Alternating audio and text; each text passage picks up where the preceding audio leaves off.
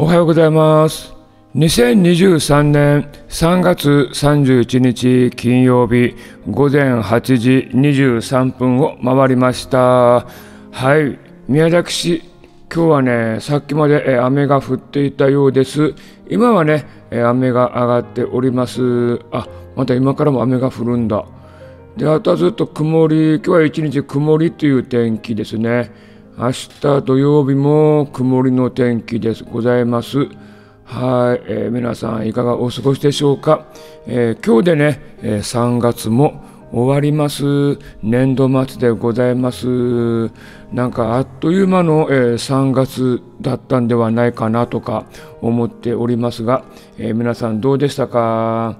はい。まあ、昨日はね、ちょっと、あの、YouTube ライブの方でも、あと、スタンド FM の方でもお話をしたんですがね、ちょっとまあ嫌なことがあったんで、はい。まあ、そのことをね、えーブログの方にも、えー記事をしましたんで、えー詳しくはね、えー YouTube のコミュニティの方から、えー記事を読んでいただければ、えー幸いでございます。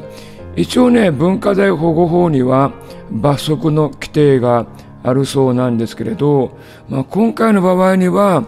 その罰則が適用されるかどうかっていうのはちょっと分かりませんでも一応ね、えー罰則の規定がありますんで、えー文化財保護法違反ということになるっていう可能性は、えー十分にねありますんで、えーその点はね気をつけた方が良いのではないかなと思います。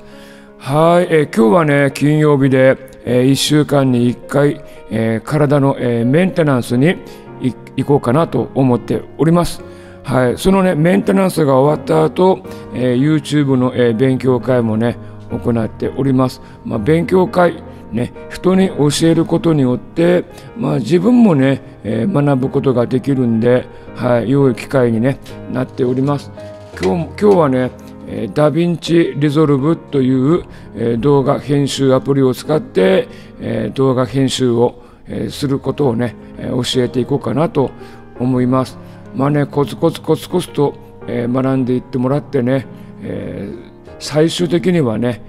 きちっと、YouTube のチャンネルを運営することができるようになれば、いいな、嬉しいなと思っているところでございます。まあ、各いうね、私の YouTube チャンネルも、えー今最近あまり成長してきていないんですけど、あと少しでね、えーチャンネル登録者8000人なります。ね、目標というか、まあ、チャンネル登録者はね、多ければ多い方がいいですし、まあ、16年やっていて、チャンネル登録者、まだ1万人も超えていないという、まあ、お粗末な、えー寂しい状況ではありますんでね、ちょっといろんな、えー動画、いろんなコンテンツをね、また工夫しながら、えー YouTube の方にね、えー投稿していきたいなと思ってます。まあ、年度もね、変わりますんで、えー YouTube ライブのオープニング、エンディングとかもね、ちょっと、え変更しようかなと、また BGM の方もね、ちょっと変更しようと、えーまあ、動いているところでございます。まあ、楽しいね、番組作り、まあ、このポッドキャストもそうなんですけれど、まあ、楽しい番組作りをね、えーこれからも、進めてやっていきたいと思いますんでね、えー本当本年度は、えーありがとうございました。また新年度もね、えーどうぞよろしくお願い申し上げます。で、この朝のポッドキャストもね、なんかもう少し、えー内容をね、えー変えてお話をしていければ、えーいいかなと思っております。はい、ということで、学校はね、春休みですが、えこれから仕事という方はね、え場所によってはね、雨が降ってるところもありますんで、え雨具、傘、忘れないように、え持っていってください。はい、今日もね、前を向いて楽しく明るく過ごしてやっていきましょう。はい、ということで、今回はこの辺で失礼します。